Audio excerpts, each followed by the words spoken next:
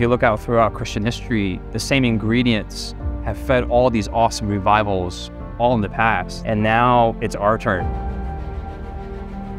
You know, GYC has been crucial in um, actually creating a movement that has spread around the world. You know, the Advent movement is not dead.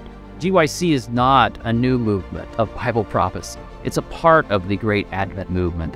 It's a group of young people who want themselves personally to be a part of the great Advent movement and, and not wait for someone to tell them what they can do or should do, but to just ask God to give them something to do. Young people help to begin the Seventh day Adventist Church, and they will help in a great way to end the wonderful work that the Lord has in store for His church. God used this movement to get a hold of me and change the direction of my life. If I had not gone to GYC, if I had not gone to those Peels, I wouldn't have gone to Bible college. I wouldn't have become a Bible worker. I wouldn't have been involved in ministry for like the last like seven, eight years of my life. Society constantly seeks to undo and press against what biblical holiness is. And I think future generations has the same exact challenge, mission, and vision to teach young people in this context what does it mean to be a legitimate, faithful, biblical Seventh day Adventist today? It's hard to be like, this is what I believe,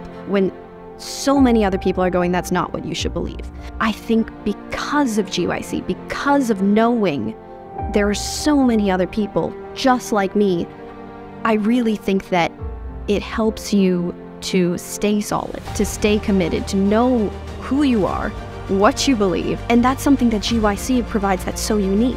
There already exists an army of me in the church on a mission for the Lord to proclaim the first, second, and third angels' messages to all the world in this generation. The army exists. GYC was make sure you're rightly trained.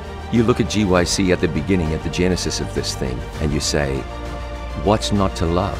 Hundreds, then thousands of young people getting together, they're gathering around the Bible, they're praying together, they're going out into the mission field to actually do hands on work, and you say to yourself, where's this to go?